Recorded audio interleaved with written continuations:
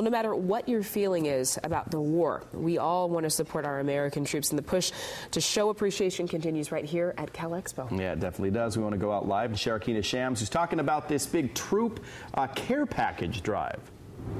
Yeah, good morning, guys. It is the mothers of local soldiers who are behind this effort. And you talked about appreciation, Adrian. Let me just read a couple of lines to you from this letter that they received from Master Sergeant Alex Terry, who's stationed overseas. He talks in here about being stationed in a former Soviet republic, the fact that it's like negative five degrees Fahrenheit out there really kind of gives you an idea of some of the conditions that people face uh, in especially foreign countries. So they're away from home and they're facing rough physical conditions. And we're joined now this morning by the mom of a local sol- soldier, Carol Bostick. Your son is a Marine, and he came home, what, under a week ago? One week ago. So, how does it feel to have him back?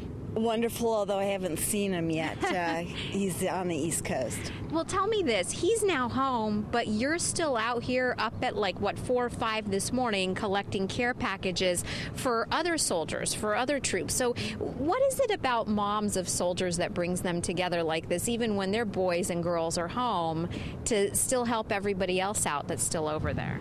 The camaraderie and the networking between us is awesome. Uh, great source of support and encouragement and great friends. Yeah, I bet you're thrilled to have him back. Folks, as we look at these photos here, let me also uh, point your attention to a list of things that they would love for you to bring out here if you can come out with some items for a care package. They are looking for CDs, DVDs, things like instant coffee, hygiene products could include anything from tissues, toothbrush, toothpaste. They could also maybe use, they say, some bug spray and some socks. And check this out over here. They've actually put together kind of a sample care package. This box has some, you can see some dried cereal and stuff in it, some coffee. You know they're going to love that Starbucks coffee, as well as some hygiene products too. They're going to be out here at Cal Expo till 7 o'clock tonight and then back again tomorrow. But we'd love to see you today. So if you're headed out the door right now on your way to work, stop by and see us at Cal Expo. We're live this morning in Sacramento. I'm Sharokina Shams, KCRA 3 Report.